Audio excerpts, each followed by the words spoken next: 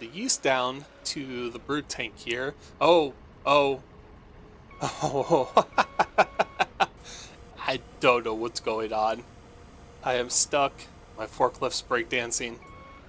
Uh, well, this is going to be a pain to get out of. okay, yes, early access games, it's going to be okay.